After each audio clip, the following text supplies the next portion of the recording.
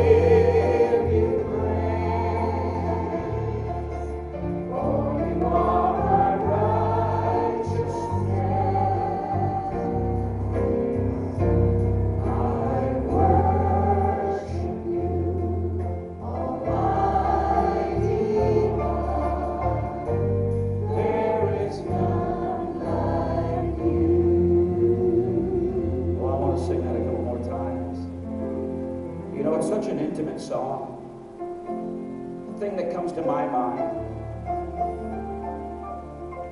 is when a couple's getting ready to be married. You know that feeling, whether it's your daughter or your son. That bride takes so much care to get herself ready. She's in there with her 10 the beauty salon as they get their hair all fixed nice.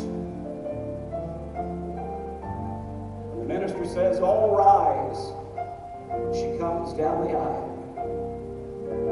We are the bride of Christ. This is us getting ourselves ready. Because I'm telling you right now, He's on the doorstep. He could come at any time. And we need to be ready. Amen.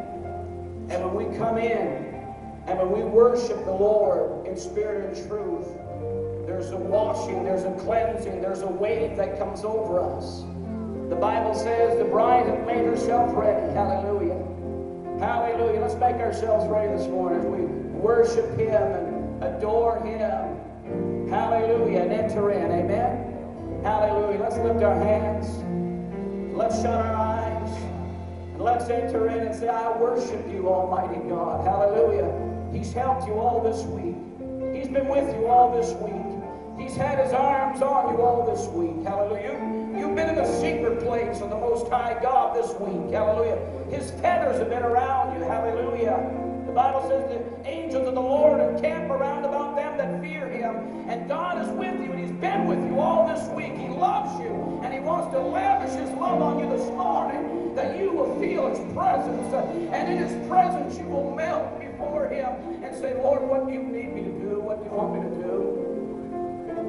Hallelujah. Let's sing it together. I worship you,